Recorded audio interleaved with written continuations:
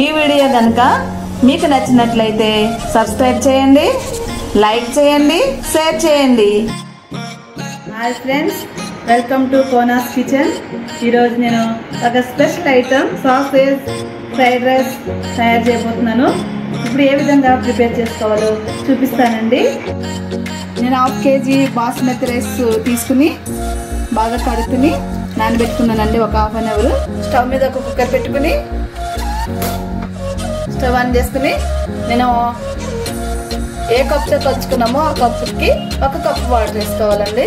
నేను దీంతో తీసుకున్నాను కాబట్టి దాంతో నేను ఒక కప్పు వాటర్ వేసుకుంటున్నాను. ఈ వాటర్లో కొద్దిగా సాల్ట్ కొద్దిగా నిమ్మరసం కొద్దిగా ఆయిల్ యాడ్ చేసుకుంటున్నానండి నేను.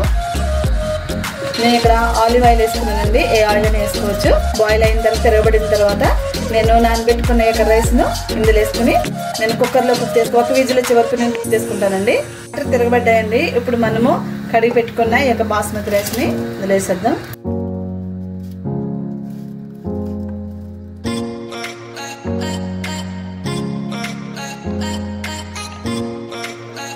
కుక్కర్ లిడ్ పెట్టేసుకొని మనము వన్ విజిల్ ఒక విజిల్ వచ్చే వరకు కుక్ చేసుకుందామండి.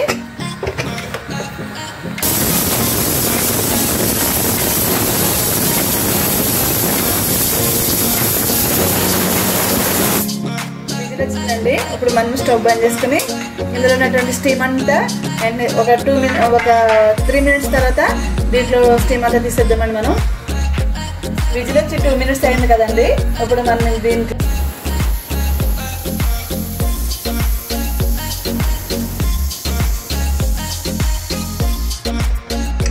ఈ విధంగా స్టీమ్ అంతా వెళ్ళిపోయిన తర్వాత మనం ఓపెన్ చేసుకుని చూద్దామండి.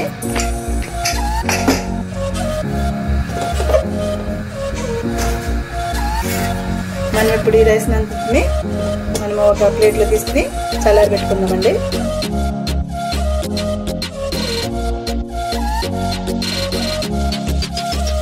సాసేజ్ తీసుకుని మనము వీటిని చిన్న చిన్న ముక్కలుగా కట్ చేసుకుందామండి. మనకి సూపర్ మార్కెట్లో దొరుకుతాయండి.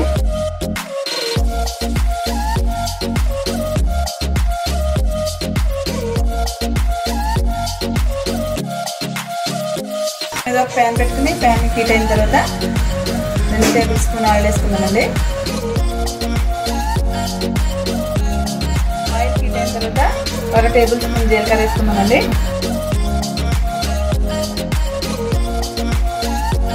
జీలకర్ర ఫ్రై అయినాక మనం కట్ చేసి పెట్టుకున్న ఈ సాసెస్ వేసుకుని ఫ్రై చేసుకుందాం.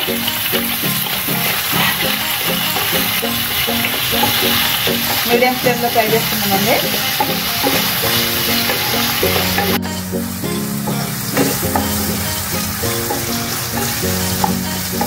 బ్రౌన్ కలర్ వచ్చే వరకు వీటిని ఈ సాసెస్ని మనం ఫ్రై చేసుకుందామండి.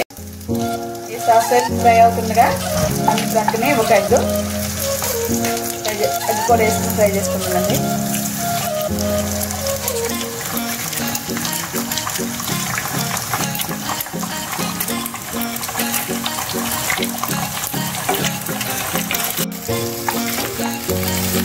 ఈ కూడా ఏ విధంగా రెండు కలిసి మనం ఫ్రై చేసుకోవాలి. ఈ ఎగ్ మొత్తం ఫ్రై అయిన తర్వాత దీంట్లో కలిపేద్దాం అంటారు?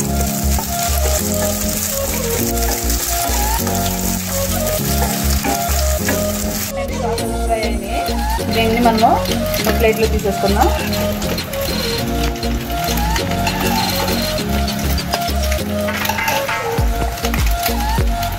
అదే ప్యాన్లో అలా ఒక టేబుల్ స్పూన్ ఆయిల్ వేసుకుందామండి.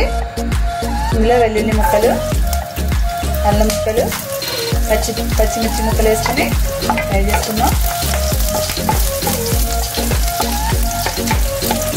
ఇంట్లో ఒక స్ప్రింగ్ ఆనియన్ కూడా వేసి ఫ్రై చేసుకోవాలండి. స్ప్రింగ్ ఆనియన్ బట్టి మామూలు ఆనియన్ వేసేయండి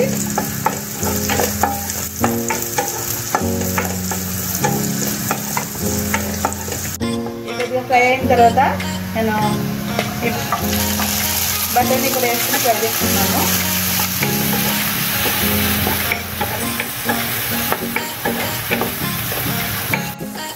ఈ బటర్ని కూడా కొద్దిగా ఫ్రై అయిన తర్వాత ముందుగా ఫ్రై చేసి పెట్టుకున్న ఏదో సాస్ వేసి ఎగ్ నేను దీంట్లో వేసేసుకుంటున్నాను.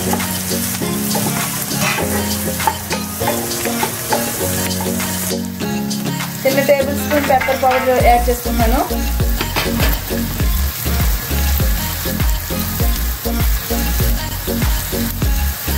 ఒక చిన్న టేబుల్ స్పూన్ గరం మసాలా కూడా వేసుకున్నాను నేను.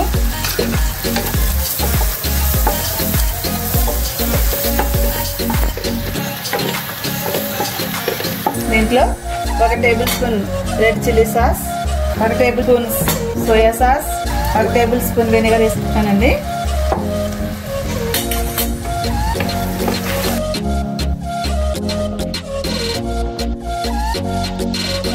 ఇంత లైట్గా కొద్దిగా సాల్ట్ కూడా యాడ్ చేసుకున్నాను.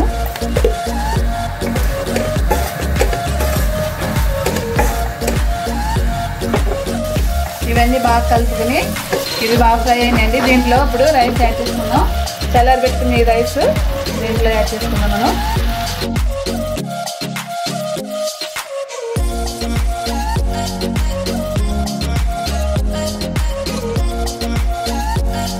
రైస్ వేసుకుని ఇలా కలుపుకున్నామండి బాగా కలుపుకున్నాం ముక్కలు అవ్వకుండా మనము హై ఫ్లేమ్లో తిప్పుకుంటూ కలుపుతా స్పూన్ పెడితే ముక్కలు అయిపోతుంది కాబట్టి.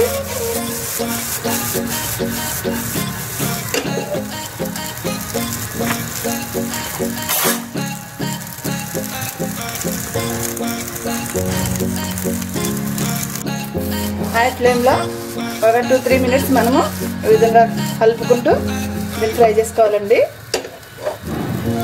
స్పూన్ ఎట్టకూడదు స్పూన్ ఎట్టు తిరిగిపోతాయి. ముక్కలు ముక్కల కింద అయిపోతుంది రైస్.